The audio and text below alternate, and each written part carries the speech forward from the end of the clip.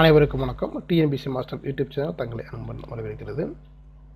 சென்னையில் உள்ள அண்ணா பல்கலைக்கழகத்தில் பகவத்கீதை கட்டாய பாடம் என்று அறிவிக்கப்பட்ட நிலையில் அது விருப்ப பாடமாகத்தான் இருக்கும் என்று பல்கலைக்கழக துணைவேந்தர் பேராசிரியர் சூரப்பா அவர்கள் தெரிவித்திருக்கிறார். ஸோ அதை பற்றிய முழு வீடியோவை நாம் இந்த பதிவில் பார்க்கலாம். தமிழகத்தில் பார்த்திங்கன்னா இந்தி கட்டாயமாக்கப்பட்ட சூழல் இருந்த நிலையில் இந்தியை வந்து கட்டாயமல்ல அது வந்து விருப்ப பாடமாக எடுத்துக்கொள்ளலாம் என்று அறிவிக்கப்பட்ட நிலையில் அண்ணா பல்கலைக்கழகத்தில் பகவத்கீதை வந்து கட்டாய பாடமாக அறிவிக்கப்பட்டது.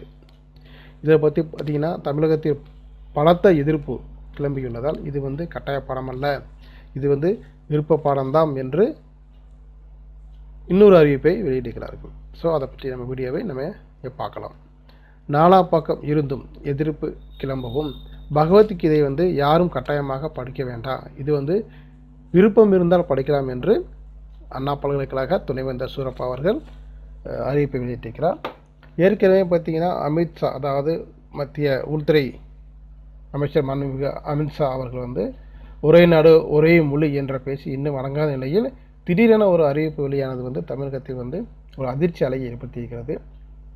அதாவது அண்ணா பல்கலைக்கழகத்தின் சிஇஜி அது காலேஜ் ஆஃப் இன்ஜினியரிங் சொல்லுவாங்க கேம்பஸ்னு சொல்லுவாங்க.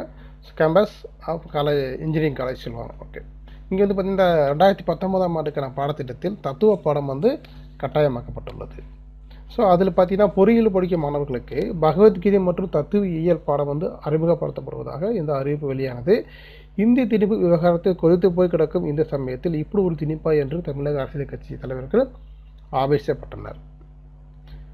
இந்திய மேல்நாடு தத்துவ படிப்பு என்ற பெயரில் சமஸ்கிருதத்தை திணிக்கும் முயற்சி மேற்கொள்ளப்பட்டுள்ளது. கண்டிக்கத்தக்கது என்று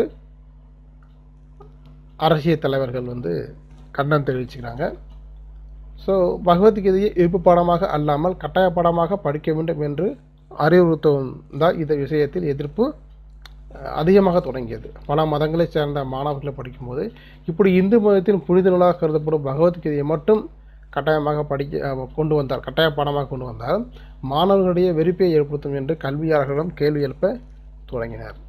ஸோ பார்த்தீங்கன்னா இவ்வளவு எதிர்ப்பு ஒரே நேரத்தில் கிளம்பும். திடீரென அறிவிப்பை பின்வாங்கியுள்ளது அண்ணா பல்கலைக்கழகம். அதாவது பார்த்தீங்கன்னா சொந்தமாக அண்ணா பல்கலைக்கழக துணைவேந்தர் சூரப்பா வந்து ஒரு விளக்கத்தை கொடுத்திருக்கிறார்.